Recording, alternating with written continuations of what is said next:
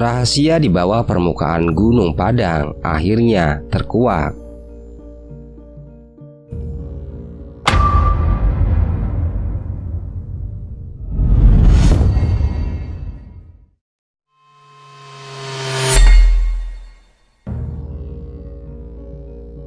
Indonesia memiliki beberapa bangunan arkeologi yang luar biasa. Beberapa di antaranya berusia ribuan tahun. Lokasi-lokasi ini menarik bagi para ilmuwan, sama seperti pantainya yang menarik bagi para pengunjung. Ada banyak yang bisa diperoleh dari penyelidikan para ahli di situs-situs ini. Salah satu contohnya adalah piramida di puncak Gunung Padang, Jawa Barat itu bukan piramida dalam arti biasa yang mungkin dibayangkan orang, seperti piramida terkenal di Mesir. Tapi itu juga memiliki rahasia yang terkubur tepat di bawah permukaannya, seperti piramida Mesir yang memiliki makam raja dan ratu di bawah permukaannya. Dan rahasia yang tersembunyi di bawah batu dan bumi di Gunung Padang sama rumit dan menariknya dan juga sangat tua seperti yang ada di bawah piramida Giza dekat Kairo. Gunung selalu menjadi tempat para penghuninya untuk memberi penghormatan, berdoa, dan bermeditasi. Namun hingga saat ini, apa yang ada di bawah runtuhnya tanah megalit tidak diketahui meski bersembunyi di depan mata seperti pepatah lama. Berkat teknologi arkeologi modern, seperti pemindai dan sinar X tanah. Para ilmuwan sekarang tahu bahwa ada banyak terowongan, ruang, dan pilar yang berada hanya 10 kaki di bawah permukaan gunung memang bersembunyi di depan mata. Melansir dari The Vintage News, sebuah tim ahli sejak lama membayangkan bahwa ada banyak kejutan di bawah pilar di atas struktur tersebut. Sekarang, mereka memiliki pemahaman dan wawasan yang lebih jelas. Menurut Ketua Tim Dani Hilman Natawijaya, ilmuwan senior Lembaga Ilmu Pengetahuan Indonesia, kuil yang unik jelasnya kepada pers dua tahun lalu. Ini tidak seperti topografi sekitarnya yang sangat terkikis. Ini terlihat buatan bagi kami, tambahnya. Dengan kata lain, Para ahli percaya itu buatan manusia.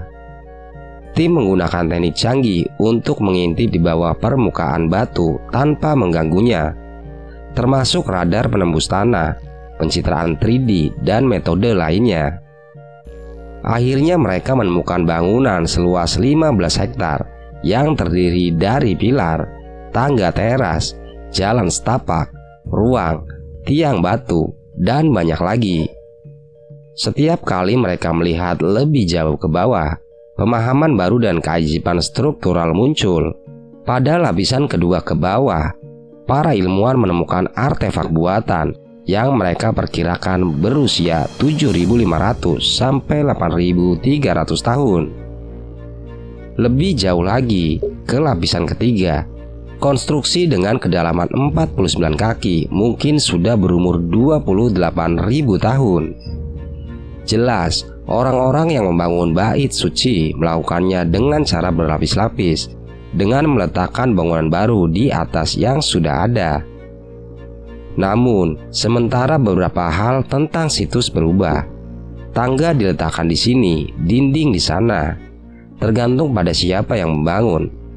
Satu hal, menurut para ahli, kemungkinan besar tidak berubah alasan keberadaan candi sama seperti orang-orang hari ini yang pergi ke situs untuk merenungkan keberadaan kekuatan yang lebih tinggi dan menyampaikan rasa hormat mereka.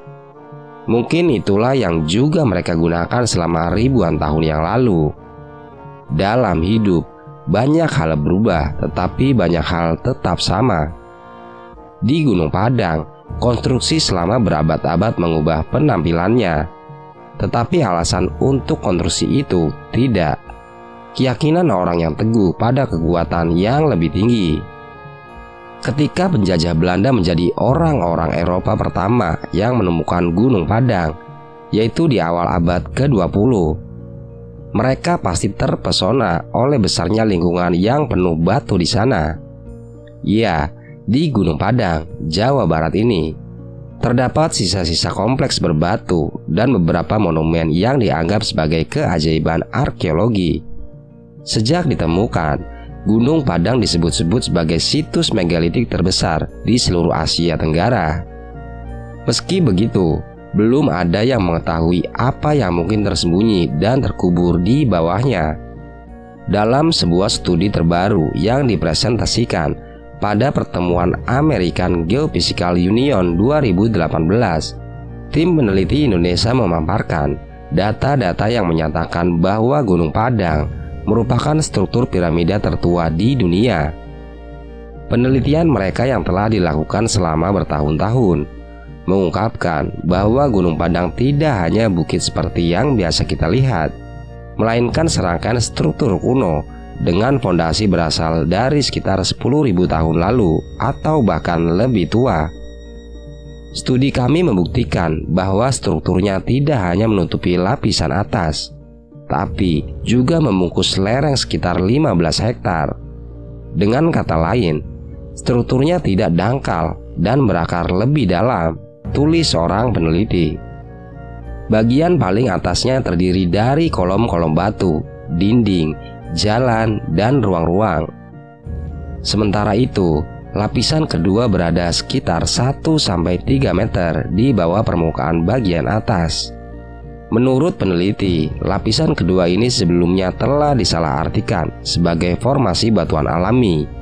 Padahal, Sebenarnya itu adalah susunan batuan kolom yang diatur dalam struktur matriks. Di bawahnya terdapat lapisan ketiga yang terdiri dari batuan bersusun serta ruang bawah tanah yang besar dan memanjang sampai kedalaman 15 meter. Dan lapisan keempat terbuat dari batuan basal yang entah bagaimana dimodifikasi atau diukir oleh tangan manusia. Peneliti mengatakan Penanggalan radiokarbon menunjukkan bahwa lapisan pertama berusia 3.500 tahun, lapisan kedua 8.000 tahun, dan lapisan ketiga sekitar 9.500 hingga 28.000 tahun. Dani Hilman Nata Memimpin penelitian sekaligus ahli geofisika dari Lembaga Ilmu Pengetahuan Indonesia atau LIPI ia mengungkapkan bahwa strukturnya yang kuno dan luas mungkin memiliki basis keagamaan. Untuk sekarang, hal tersebut masih menjadi spekulasi. Tapi, jika klaim peneliti tentang struktur piramida ini benar, maka Gunung Padang akan menjadi temuan utama yang dapat menantang gagasan mengenai kemampuan masyarakat prasejarah.